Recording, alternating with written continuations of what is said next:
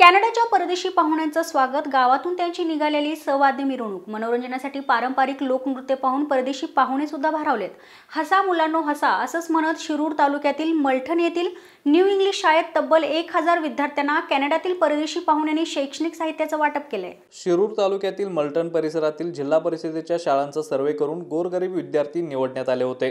Canada येथील sleeping children around the world ह्या संस्थेमार्फत स्लीपिंग किट देण्यात आले. यासाठी या संस्थेचे क्रिस हिल्स जुडिस नोबेलन केओ हिल्स अँडी ग्रेनूर ॲन बोरे कॅदी लिटा हे परदेशी पाहुणे उपस्थित होते. पन्नास लाख रुपयांच्या साहित्यांचा खर्च ह्या परिसरातील विद्यार्थ्यावर करण्यात आला. किटमध्ये एज्युकेशनल आणि स्लीपिंग किट आहे.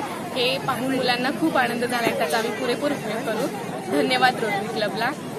जेव्हा माणूस चांगला झोपतो तेव्हा त्याची दुसऱ्या दिवशीची जी दिनचर्या असते ती एकदम व्यवस्थित होते आणि तो सगळे कामं उत्स्फूर्तपणे करत असतो तर आमची इच्छा अशी आहे की लहान मुलांना चांगली झोप मिळावी जेणेकरून दुसऱ्या दिवशी ते शाळेत चांगला अभ्यास करतील आणि भरपूर खेळतील खेळात त्यांची प्रगती होईल अभ्यासात प्रगती होईल आणि Children Around the World is uh, almost a 50 year old project, and it was started by Murray Dryden in Pune here uh, in 1970 with uh, 50 bed kits.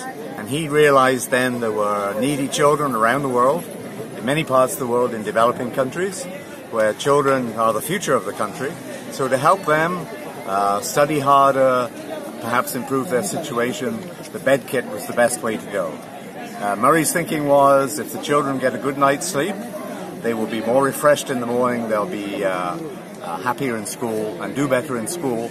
So that's why the bed kits are designed the way they are, for the child to have uh, better night's sleep. But it also does include uh, some clothing and some school supplies and a mosquito net.